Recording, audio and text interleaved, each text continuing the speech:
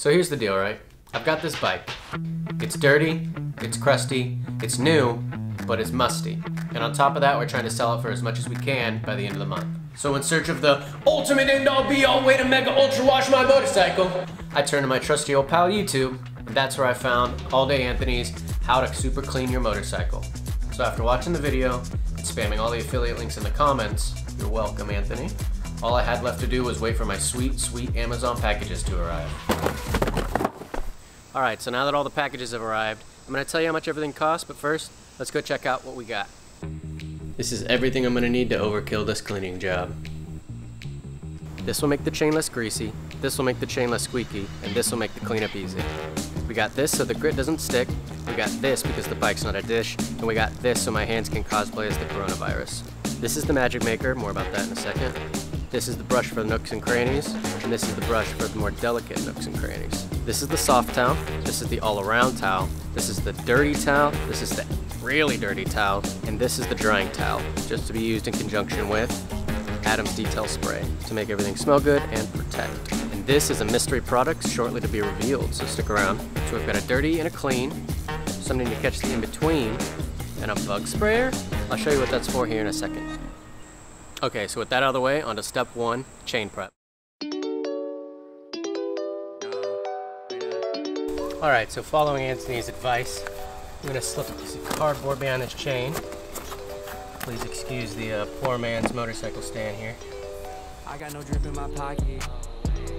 Must have forgot it, or maybe I already lost it. Don't got enough to go Houston, we might have a problem, but that don't mean. Now that we've got the chain degreased, let's go ahead and move on to step two, water acquisition. Now you're probably thinking, well that's easy Austin. Most houses actually have a spigot attached to them where you can actually grab some water. Well it's not that easy. You see there's two kinds of water, soft and hard. Soft water is pure and dries clean, while hard water is full of minerals like calcium and magnesium and leaves residue when dried, which can be seen here on the glass door in our bathroom. Hey, get out of there. So since our faucets use slightly hard water, we're getting around that by using distilled water. Since the process of distillation removes all traces of minerals, we won't get that nasty mineralized residue. So with this secret weapon that you can pick up at your local grocery store, we're gonna go ahead and fill up the wash buckets, the magic maker, and the bug sprayer?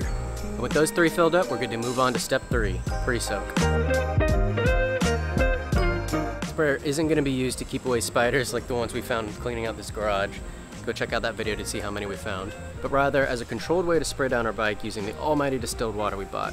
In addition to giving us more control, it also makes it so that we only have to use about one gallon to pre-soak and rinse the bike completely. Thanks for the tip, Anthony. Alright, with the bike completely soaked down, it's time to move on to step four and make some magic.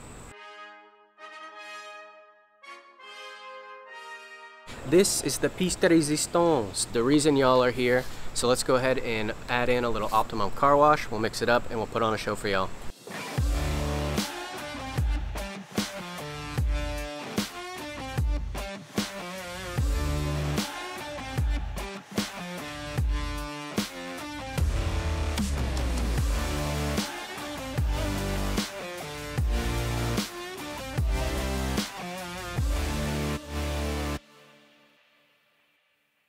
Now that we're properly foamed up, let's get to scrubbing and move on to step five, the wash mitt.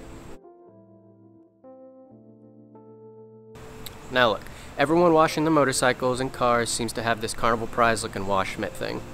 So they must be objectively better than just a regular washcloth, right? Either way, let's go ahead and get to washing.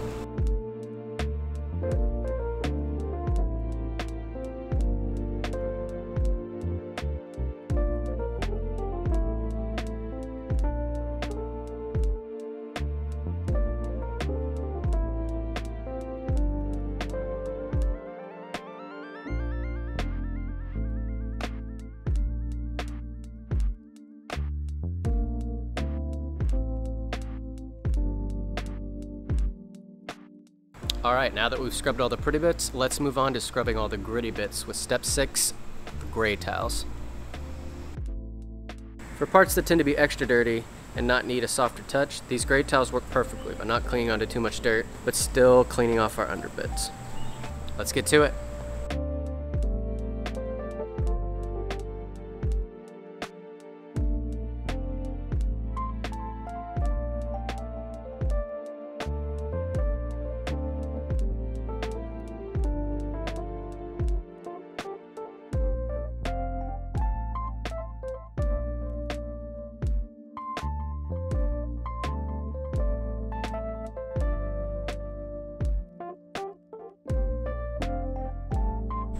Now that we've covered the major components, it's time to hit the details with these bad boys. In step 7, the Minx towel, regular brushes, and detail brushes.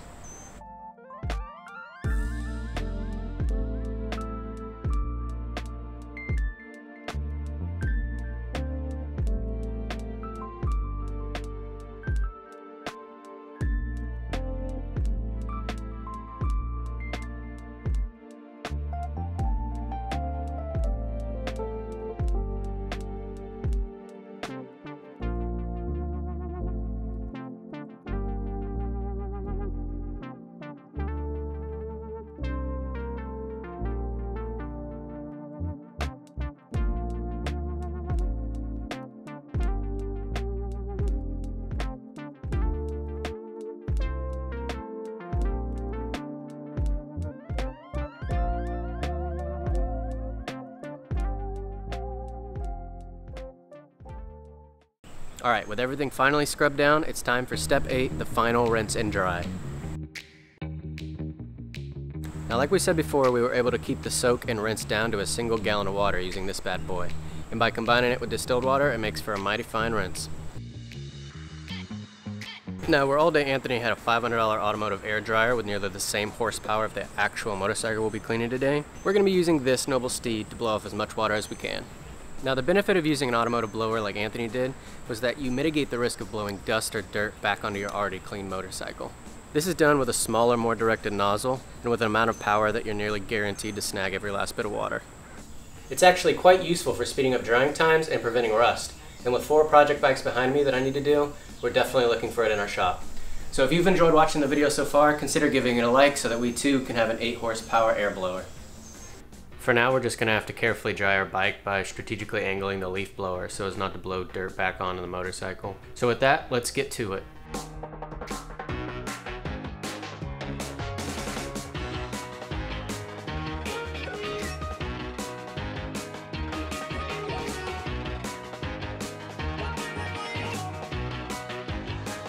Now, we got the majority of the water off the bike with the blower, but we're going to catch up those last few drops in our next step, detailing.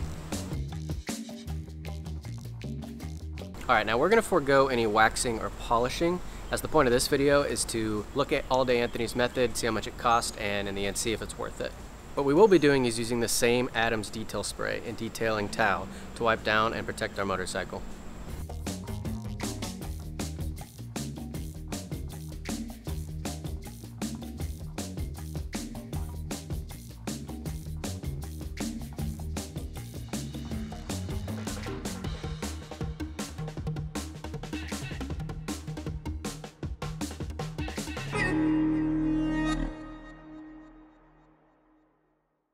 Alright, and with that out of the way, let's move on to our last and final step, lubing the chain. Alright, so for our final step, we are back at the chain, here to lube it up after degreasing it. And similar to how we started, we're to go ahead and throw a piece of cardboard behind the chain to protect against overspray. Now that we have a clean bike, we don't want to be getting dirty.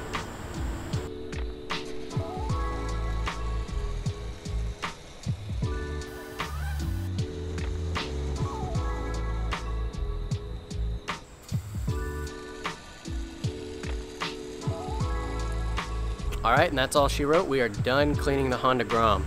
There's a couple things that weren't done in All Day Anthony's videos, like foam the tires and wax the paint, which we're to do later, so consider subscribing if you want to see how that goes and hit the notification bell to be notified when they come out. So let's talk numbers.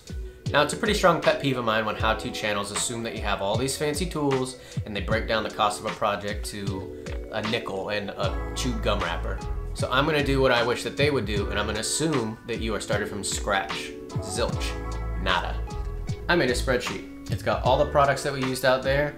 Let's take a look at the costs. Now, I'm not gonna go through and read off every cost here, though you can pause the video and look at that if you're interested. What I'm interested in here is down at the bottom, the total. Uh, how much did we spend overall?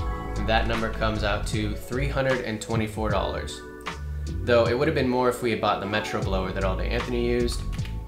That runs about $480 on Amazon, making it more expensive than everything we bought put together, and bringing the total to $769. Now, knowing that we spent $324, let me give you my final thoughts. At first, that number may seem pretty big, and Arguably it is when you've got the old hose and dish soap option.